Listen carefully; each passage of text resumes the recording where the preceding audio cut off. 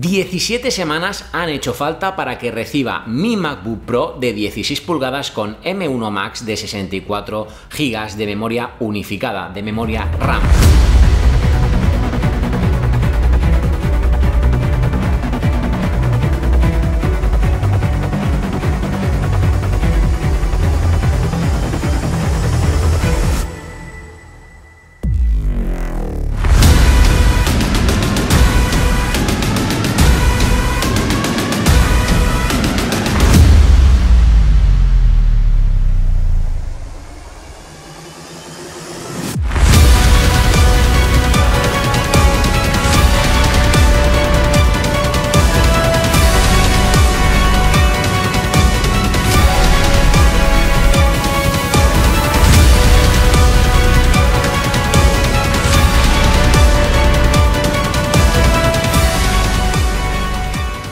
Como sabéis, siempre me gusta empezar hablando del diseño y es que se trata de un apartado que no ha dejado indiferente absolutamente a nadie, ya que recuperamos no solo los puertos, sino un grosor mayor en cuanto al MacBook Pro se refiere, ya que en los modelos anteriores teníamos un tamaño, un grosor muy finito. Bien, recuperamos grosor gracias a haber incorporado o como consecuencia de haber incorporado nuevos puertos. Pero antes de eso, quiero que sepas que este MacBook Pro es algo pesado. Tiene un peso de 2,17 kilos lo cual es algo, bueno, aceptable teniendo en cuenta que se trata de un dispositivo de 16 pulgadas. De grosor tenemos 1,68 centímetros, lo cual, como te decía, es motivo de que tengamos los puertos adicionales que encontramos en este MacBook Pro con referencia a MacBook Pro anteriores. Y bien, ¿cuáles son esos puertos que vamos a encontrar si compramos uno de los actuales MacBook Pro? Por el lateral derecho lo que vamos a encontrar es, en primer lugar, lector de tarjetas, que esto ya es una verdadera pasada, como ahora te comentaré. Vamos a encontrar un USB tipo C Thunderbolt 4.0 y vamos a encontrar también un conector de HDMI algo que también puede ser muy interesante según qué tipo de usuario seas, ya que vas a no necesitar en todo momento un adaptador, un hub, ya que tienes dos de los grandes conectores que puedes necesitar, como son el lector de tarjetas y como son el HDMI para conectar una televisión, un monitor, etc. Y si nos vamos al lateral izquierdo, lo que vas a hacer es encontrar el conector jack, vas a encontrar también dos USB tipo C Thunderbolt 4 y vas a encontrar como una grandiosa novedad el conector MagSafe para la carga. Esto es una pasada, porque además tienes que saber como parte incluida en este MacBook Pro que el modelo de 16 pulgadas te viene con un cargador de 140 vatios, algo que es una verdadera pasada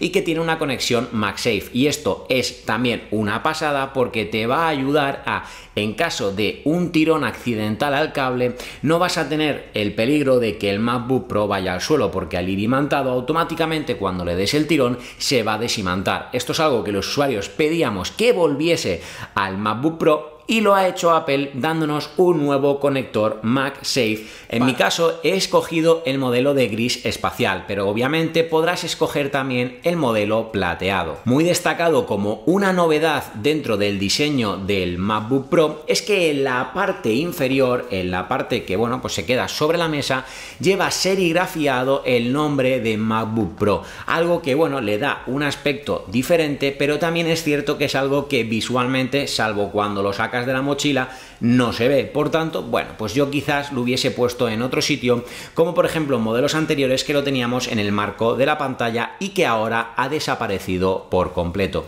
Es importante también que sepas que en la pantalla hay un cambio importante en el diseño, ya que ahora encontramos en la parte superior central de la pantalla un notch. Sí, exactamente igual que en el iPhone, encontramos un notch como parte característica del diseño de este MacBook Pro que vas a encontrarte tanto si compras el modelo de 14 pulgadas como el modelo de 16 pulgadas. También debes de saber que el trackpad es ahora un poquito más grande y que tienes una cantidad, ojo al dato, de 6 altavoces y 3 micrófonos de estudio que te van a dar una calidad tanto de audio a la hora de ser captado, es decir, el micrófono, como a la hora de escuchar música o cualquier otro tipo de contenido. Tiene una calidad muy pero que muy buena, además con una cantidad de volumen también muy elevada. Este MacBook Pro además es compatible con la tecnología de audio espacial, lo cual es también una verdadera pasada. Pero si tengo que quedarme con algo en concreto en el apartado de diseño, sin duda alguna, para mi gusto, como soy creador de contenido,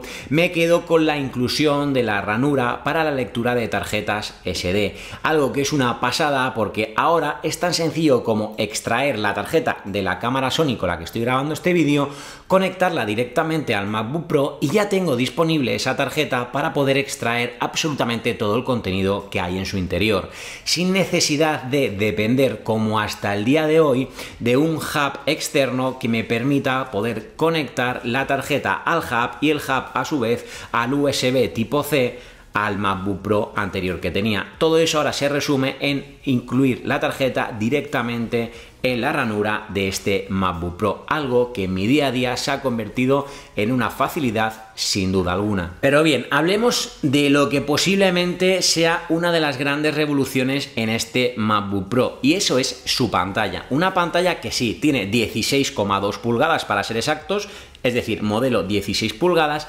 pero ojo al dato porque cuenta con una pantalla con tecnología Liquid Retina XDR, es decir, es una pantalla mini LED y eso proporciona una calidad de imagen verdaderamente espectacular. Tiene una resolución de 3456 x 2234 y ojo, porque además tiene una densidad de píxeles de 254, lo cual es una verdadera maravilla. Te estaré mostrando unas imágenes con una altísima resolución, pero obviamente no voy a poder trasladarte la sensación que tengo al ver esa calidad de colores, esa calidad de imagen en esta pantalla. No obstante, como te digo, sin duda alguna es una de las cosas que más me ha llamado la atención en el corto tiempo de plazo que llevo utilizando este MacBook Pro. Tiene una calidad de imagen como nunca antes había visto. En cuanto al brillo, encontramos que la pantalla tiene 1600 nits, algo que está bastante bien, sobre todo cuando vayas a utilizar el MacBook Pro en el exterior, ya que vas a necesitar mayor cantidad de iluminación en la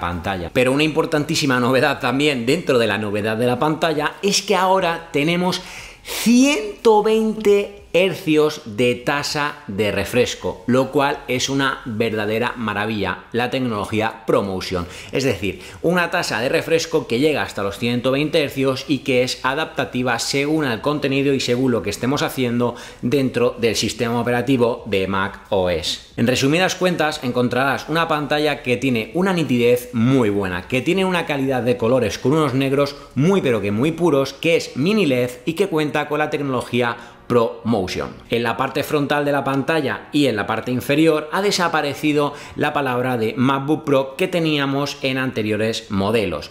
Y como te decía, en la parte superior encontramos la cámara dentro de ese notch es importante que sepas que aunque encontramos el Notch, no encontramos el Face ID. Lo que sí encontramos es una cámara mucho mejor, una cámara mejorada, pero que nuevamente Apple se ha parado en los 1080. Es decir, no encontramos una cámara 4K, pero sí dejamos a un lado los 720 que teníamos en otros modelos, pasando a tener una cámara con mejor calidad, pero importante que recuerdes que tiene 1080 como resolución. No obstante, y para que puedas también además probar los micrófonos, que puedas escuchar qué tal suena, te pongo un vídeo para que veas qué tal funciona la cámara y el audio de este MacBook Pro. La calidad del vídeo de esta cámara 1080 como del sonido que captan los micrófonos. Esta prueba la estoy haciendo en el comedor, la estoy haciendo con la luz que tengo en el techo y una lámpara que tengo aquí delante y no tiene ningún tipo de edición, ni de vídeo, ni por supuesto de audio. Importante que sepas que encontramos un teclado con las teclas retroiluminadas, que encontramos que tenemos el Touch ID en la parte superior derecha como un botón adicional y encontramos que tenemos una barra de teclas de función, a diferencia de modelos anteriores que lo que encontrábamos era el Touch Bar Touch Bar que ha desaparecido y como te digo ahora es una barra con teclas de funciones. Y por supuesto no puedo dejar de hablar de la potencia y el rendimiento de este MacBook Pro que como te digo se trata del modelo M1 Max con 64 GB de memoria RAM.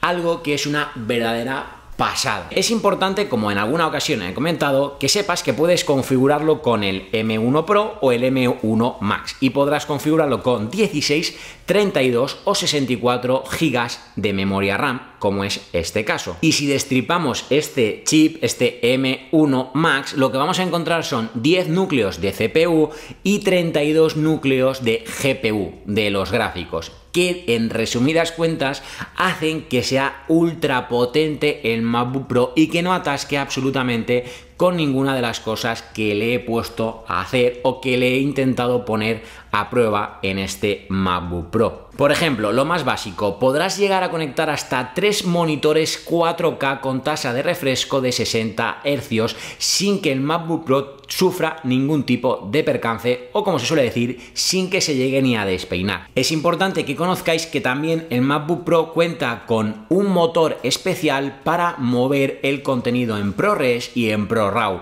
algo que va a hacer que a la hora de editar ese tipo de contenido lo puedas hacer de una forma ultra fluida sin ningún tipo de percance. Y es justo ahí donde quiero detenerme y donde te quiero contar qué pruebas he hecho para poner a prueba, valga la redundancia, este MacBook Pro con M1 Max. Y sí, te estoy hablando de la edición de vídeo en Final Cut Pro. Bien, aquí lo que he hecho ha sido hacer un par de pruebas. Una de ellas, la más básica, es eh, probar a exportar un vídeo del canal y ver qué tal se comportaba a la hora de exportar ese vídeo. Y lo he hecho de dos formas. Por un lado, exportando con la mejor codificación en calidad posible y por otro lado, exportando con la codificación más rápida posible. Bien, en el caso de mejor calidad, lo que he encontrado es que para un vídeo de 10 minutos ha tardado 28 minutos en exportarse, mientras que para el más rápido un vídeo de 10 minutos se ha exportado en 6 minutos. Algo que como te digo, en mi opinión está muy bien. Yo vengo totalmente del lado opuesto de un MacBook con procesador Intel que funcionaba francamente mm, vamos a decir, mucho más lento en comparación a este MacBook Pro y por tanto he notado un salto muy pero que muy importante. Y bien, no queda ahí. Obviamente lo que quería hacer era poner a prueba la capacidad de edición de vídeo de este Super MacBook Pro. Y para ello lo que he hecho ha sido descargar contenido en 12K para poder editarlo. Contenido que fue grabado con Blackmagic. Y que ojo, para poder editar ese vídeo en Final Cut he tirado del el contenido que tiene el compañero Dani Splat, que por cierto es un verdadero maestro de la edición de vídeo en Final Cut y por ello te dejo por aquí para que puedas ir y chequear su canal, pues tirando de un vídeo que tiene donde explicaba cómo poder editar ese vídeo en Final Cut. Bien, lo que he hecho ha sido montar un vídeo, eh, digamos, con tres cortes o con tres extractos de ese vídeo de 12K, lo que he hecho ha sido añadirle desenfoque, añadirle plugin de YouTube, eh, añadirle transiciones en 3D, en fin, añadirle una serie de eh, complementos a ese vídeo para hacerlo lo más pesado posible. Y bien, ¿dónde está la sorpresa? En que en primer lugar, a la hora de trabajarlo, a la hora de editarlo, he podido hacerlo renderizando en tiempo real con la visualización del display en la mejor calidad posible y todo ello sin ningún tipo de enganche, percance, retraso, nada de nada, todo en directo, una verdadera Buah, maravilla, no tengo ni siquiera palabras. Antes el simple hecho de ponerle un plugin hacía que mi anterior MacBook Pro tuviese que tomarse una cerveza, por así decirlo, antes de poder procesarlo.